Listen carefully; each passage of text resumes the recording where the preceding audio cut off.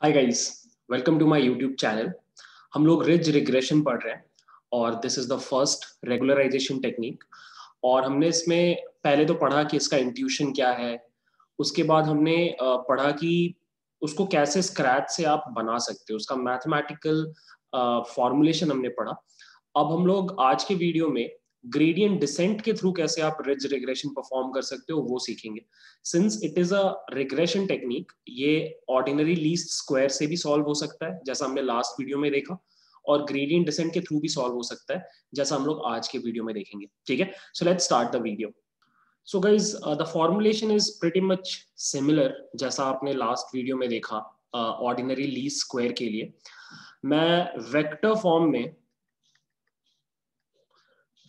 आपका loss function को लिख रहा हूँ। नॉर्मली आपका लीनियर रिग्रेशन का loss function is written like this right इसको आप बहुत इजीली वेक्टर फॉर्म में लिख सकते हैं। वेक्टर फॉर्म में ये इक्वेशन बन जाता है। X, w minus y transpose x, w minus y this is the loss function in vector form ठीक है? ये, इससे आप ये कैसे निकाल सकते हो? ये मैंने आपको एक वीडियो में ऑलरेडी बता रखा है, उस वीडियो का लिंक पर डिस्क्रिप्शन में डाल दूँगा, ठीक है?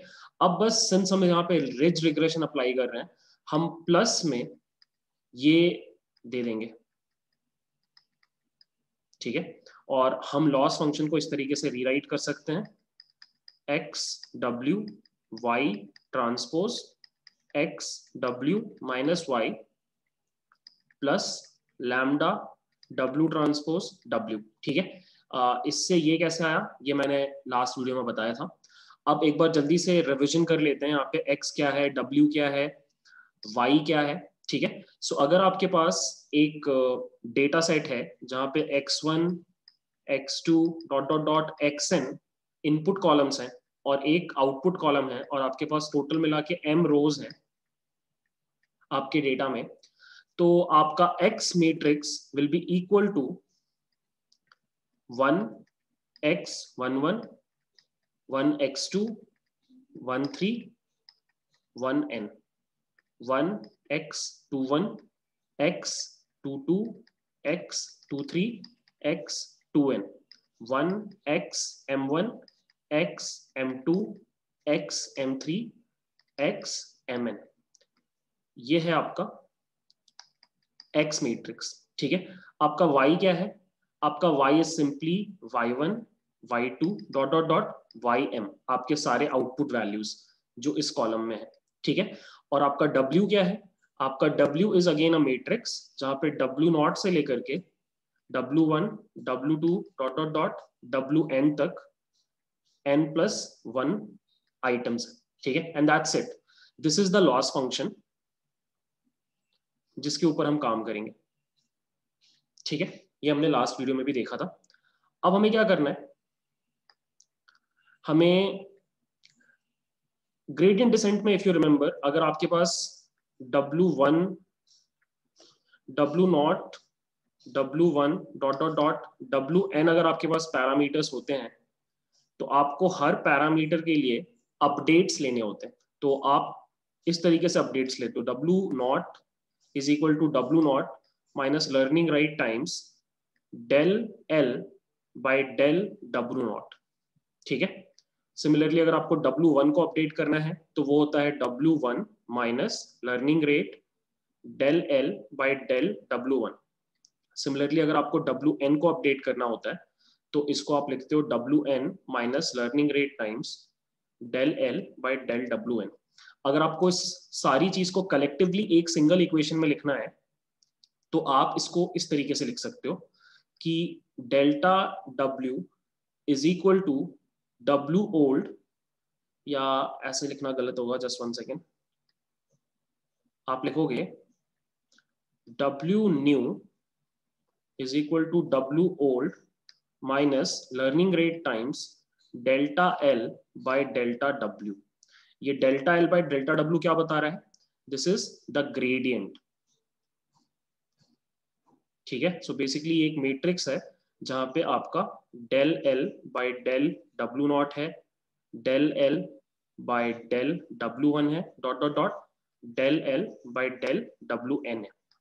ठीक है? ये कलेक्टिव आपका फॉर्म आ गया। अब बस हमें क्या करना है? हमें ये निकालना है। हमें बस ये निकालना है दैट इज़ जब आप पूरे के पूरे एल को पूरे के पूरे डब्ल्यू मैट्रिक्स के साथ एल आपका एक मैट्रिक्स ही बन जाएगा। आ, उसको जब आप डब्ल्यू मैट्रिक्स के रिस्पेक्ट में डिफ्रेंशिएट करोगे तो जो भी आंसर आएगा उसको आप यहाँ पे फिट कर दोगे। डब्ल्यू ओल्ड आपके पास हमेशा होगा। आपको बस इस वैल्यू से रिप्लेस कर देना ठीक है? सो अब देखो क्या करेंगे हम।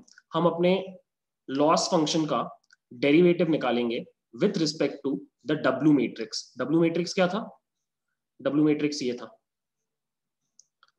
This was the W matrix this was the W matrix इसके रिस्पेक्ट में हम इस लॉस फ़ंक्शन को डिफ्रेंशिएट करेंगे। ठीक है? सो so, देखो बहुत सिंपल है एक्चुअली आप लिखोगे लॉस फ़ंक्शन को मैं एक बार फिर से लिख रहा हूँ।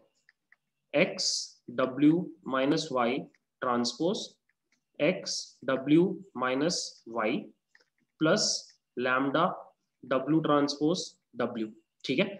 अब अगर आप ये क्रॉस मल्टीप्लीकेशन कर दो, उसके पहले अगर आप ट्रांसपोज अप्लाई कर दो तो ये बन जाएगा W transpose x transpose minus y transpose ये आ जाएगा फ़र्स्ट ब्रैकेट में।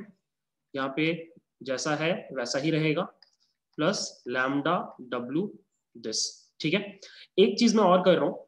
मैं दोनों इक्वेशंस में वन बाई टू से मल्टीप्लाई कर रहा हूँ। मतलब दोनों पार्ट्स में वन बाई टू से मल्टीप्लाई कर रहा हूँ। क्यों कर रहा हूँ? इससे आगे थोड़ा हेल्प हो जाएगा। uh, इससे कोई प्रॉब्लम नहीं है। This is for mathematical convenience कोई इससे प्रॉब्लम नहीं आएगा। मैं आपको दिखाता हूँ क्यों किया मैंने ऐसा। सो so, यहाँ पे आ जाएगा वन बाई टू ब्रैकेट के अंदर। डब्ल्यू ट्रांसपोज एक्स ट्रांसपोज इससे मल्टीप्लाई होगा। X W minus Y transpose X W minus just one second I just got confuse so पहले हमने इसको इससे मल्टीप्लाई किया, फिर हम इसको इससे मल्टीप्लाई करेंगे तो it will be W transpose X transpose Y फिर हम इन दोनों को मल्टीप्लाई कर रहे हैं minus Y transpose W X और फिर हम इन दोनों को मल्टीप्लाई कर रहे हैं। So it would be plus Y transpose Y और प्लस आ जाएगा half lambda W transpose W ठीक है? अब आपको पता है, ये दोनों टर्म्स सेम है, ये मैंने प्रूव करके दिखाया था। आप प्लीज़ वो वीडियो देख लेना। और उसकी वजह से we can write it like is equal to half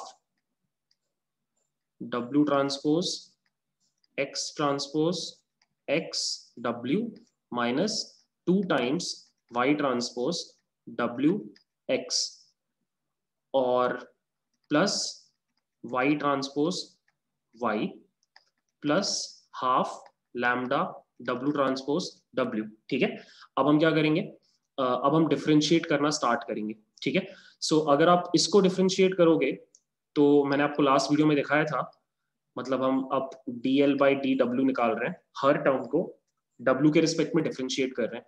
तो जब आप इसको डिफ्रेंशिएट करोगे it would give you two times X transpose X W minus इसका डिफ्रेंसिएशन हो जाएगा two times Y transpose X इसका डिफ्रेंसिएशन ज़ीरो हो जाएगा। और यहाँ पे इसका डिफ्रेंसिएशन हो जाएगा टू लैमडा डब्ल्यू ठीक है? This will be the differentiation अब अगर आप नोटिस करो, ये टू ये टू कट जाएगा। ये और ये कॉमन निकल करके इस टू से कट जाएगा। इसलिए मैंने हाफ़ रखा था ताकि ये टू ना आए।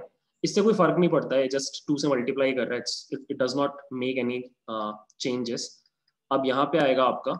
X transpose x w minus y transpose x plus lambda w.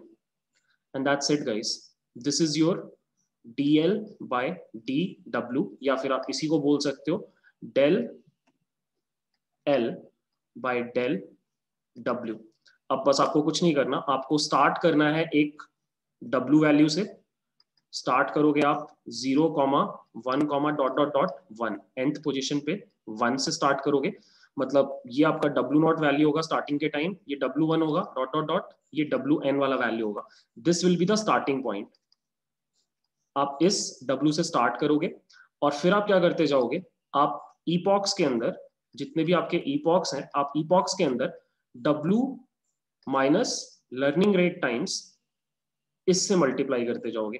D L by D W ये जो चीज़ आपने अभी निकाली है, इससे आप मल्टीप्लाई करते चले जाओगे। इससे। ठीक है?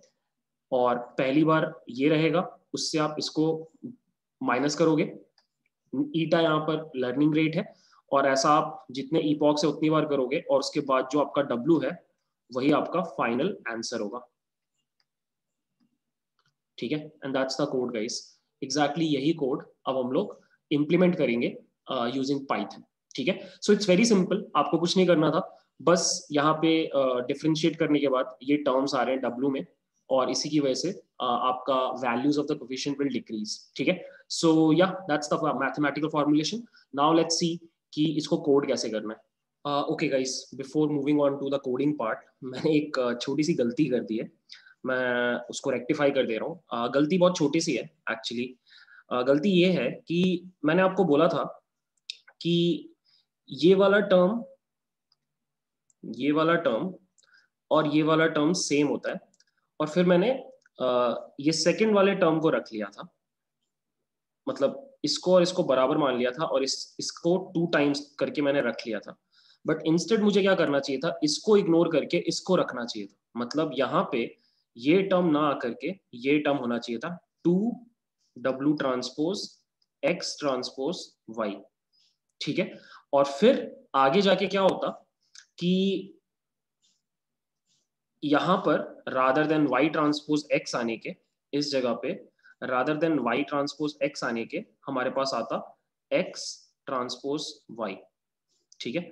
एक्स ट्रांसपोज वाई आता और फिर और नीचे जाने पे, यहाँ पे जो मेरा इक्वेशन था, जो फाइनली मैंने निकाला था, यहाँ पर भी आता एक्स ट्रांसपोज वाई सो अगर मैं ठीक से लिखना चाहूँ तो एक बार मैं लिख देता हूँ। So the correct D L by D W would be equal to x transpose x w minus x transpose y plus lambda w ये होगा सबसे सही। ठीक है? और इसी बाई डी डब्ल्यू को आप इस इक्वेशन में फिट करते जाओगे बार बार इनसाइड अ लूप जो ईपॉक टाइम्स रन करेगा। दैट्स इट यही सेम कोड हम लोग थोड़ी देर में अभी लिखेंगे। ठीक है? So that was the mistake ये हमने क्लैरिफाई कर लिया। अब let's move on to the coding part मैंने कोड पहले से लिख रखा है uh, क्योंकि फिर अननेसेसरी क्या होता है कि बहुत बड़ा हो जाता है uh, मतलब वीडियो थोड़ा बड़ा हो जाता है। सो so, मैंने सेम लोड डायबिटीज़ वाला डेटा सेट लिया। उसके ऊपर पहले मैंने ट्रेन टेस्ट स्प्लिट चलाया और फिर मैं आपको पहले दिखाता हूँ कि आप साइकिट लर्न को यूज़ करके कैसे ग्रेडियंट डिसेंट वाला रिज रिग्रेशन लगा सकते हो। इसके लिए आपको एस जी डी रिग्रेसर को यूज़ करना पड़ता है। ऑब्वियसली ये स्टोकैस्टिक ग्रेडियंट डिसेंट वाला वर्जन यूज़ करेगा। और यहाँ पे मैंने ये पैरामीटर सेट कर दिए पेनल्टी L2 मतलब L2 नॉर्म की तरह। और मैक्स आइट्रेशन 500 है लर्निंग रेट 0.8 है। लर्निंग रेट का जो टाइप है वो कांस्टेंट है चेंज नहीं हो रहा। मैं लर्निंग शेड्यूल अप्लाई नहीं कर रहा हूँ। अल्फ़ा का value point zero zero one है। मतलब जो मेरा ट्यूनिंग पैरामीटर लैम्डा है, उसका value point zero zero one है। और इस कोड को रन करने से मुझे मिल रहा था पॉइंट फोर फोर का आर टू स्कोर ठीक है? फिर एक और तरीका होता है आप अगर चाहो तो ग्रेडियंट डिसेंट लगा सकते हो using rig ridge class also यहाँ पे बस आपको अल्फ़ा का वैल्यू सेट करना है मैक्स आइटरेशन सेट करना है और सॉल्वर सेट करना है। ठीक है? सो यहाँ पे अलग अलग सॉल्वर्स हैं, मैंने आपको दिखाया था। You will get different different solvers so यहाँ से लेके ये जो तीन सॉल्वर्स हैं, ये तीनों ग्रेडियंट डिसेंट यूज़ करते हैं और ये जो तीन सॉल्वर्स हैं, ये ऑर्डिनरी लीज स्क्वायर सॉल्व करते हैं फॉर्मूला यूज़ करके, ठीक है? तो हमने ये वाला फॉर्मूला सेट कर दिया और इसको जब हमने रन किया तो हमारा R two score was coming out to be point four six ठीक है? और ये रहे मेरे सारे पैरामीटर्स ये रहा मेरा सारे स्लोप्स ये रहा मेरा इंटरसेप्ट ठीक है? फिर मैंने मेरा खुद का क्लास बनाया, मेरा रिच जीडी बोल के। इनपुट में मुझे ईपॉक्स मिल रहा है लर्निंग रेट मिल रहा है अल्फ़ा मिल रहा है। सब कुछ को मैंने सेट किया कोफिशियंट्स को इनिशियलाइज किया इंटरसेप्ट को भी इनिशियलाइज किया। और उसके बाद मैंने फिट मेथड में एक्स ट्रेन और वाई ट्रेन इनपुट लिया। और मैंने सबसे पहले क्या किया थीटा बोल के एक मेट्रिक्स बनाया। इस थीटा मैट्रिक्स में टोटल मिला के एन प्लस वन टर्म होंगे। और उसमें से एन टर्म्स जो होंगे, वो कोफिशियंट होंगे। बेसिकली ये सारे कोफिशियंट्स होंगे और एक जो एक्स्ट्रा टर्म होगा, वो इंटरसेप्ट होगा। तो इंटरसेप्ट से स्टार्ट होगा ये और इसके आगे सारे कोफिशियंट्स होंगे। ठीक है? दैट इज़ थीटा फिर मैंने क्या किया? मेरे एक्स ट्रेन को ट्रांसफॉर्म किया। सारों के आगे वन वन वन वन लगाया और उसके बाद बस लूप के अंदर मैंने हर बार डेरिवेटिव फाइंड आउट किया using this formula and this is the same formula जो यहाँ पे हमने लिख रखा है। यू कैन सी सबसे पहले मैंने डॉट प्रोडक्ट निकाला एक्स ट्रेन ट्रांसपोज और एक्स ट्रेन का ये वाला पार्ट फिर मैंने उसका डॉट प्रोडक्ट निकाला थीटा के साथ इसको थीटा बुला रहा हूँ मैं इस डब्लू वाले पूरे मैट्रिक्स को थीटा बुला रहा हूँ मैं। फिर मैंने उसको सब्ट्रैक्ट किया एक्स ट्रेन ट्रांसपोज और वाई ट्रेन से इस डॉट प्रोडक्ट से। और फिर मैंने उसमें आ, अच्छा यहाँ पे हमें ऐड करना है। जस्ट वन सेकेंड मैंने यहाँ पे ऐड किया self dot alpha multiplied by theta ये लैमडा इज़ द एल्फा और ये डब्ल्यू इज़ द थीटा ठीक है? और फिर थीटा को मैंने बार बार अपडेट कर दिया लर्निंग रेट से मल्टीप्लाई करके विथ द डेरिवेटिव ठीक है? और जब थीटा का सारा वैल्यू फाइनली आ गया तो वन को मतलब जो पहला वैल्यू था थीटा का, वो इंटरसेप्ट था और उसके आगे की सारी वैल्यूज़ कोफिशियंट थी, वो मैंने कैलकुलेट कर लिया और इसको रन किया और यहाँ पे मैंने ऑब्जेक्ट बनाया। सो so, 500 के लिए चलाया मैंने। Alpha point zero zero one learning rate point zero zero five लेके रखा है मैंने। और ये चलाते ही मेरा जो आउटपुट आ रहा है that is point four seven ठीक है? सो so, समहाउ पता नहीं मेरा code same number of epochs पे uh, बाकी दोनों से अच्छा रिज़ल्ट दे रहा है। यहाँ पे भी मैंने 500 पे ट्रेन किया तो पॉइंट फोर सिक्स आया। और यहाँ पे पॉइंट फोर फोर आ रहा था। तो अब कुछ डिफरेंसेस हैं बट उसका रीजन ये है कि इंटरनली एस जी डी वाला स्टोकेस्टिक ग्रेडियंट डिसेंट यूज़ कर रहा है। और uh, हाँ रिज वाले में वियर्ड है। यहाँ पे मैं लर्निंग रेट नहीं सेट कर पा रहा था। यहाँ पे लर्निंग रेट सेट करने का कोई फॉर्मूला नहीं है। मे बी वो ऑटोमेटिकली फिगर आउट करता है लर्निंग रेट क्या सही रहेगा।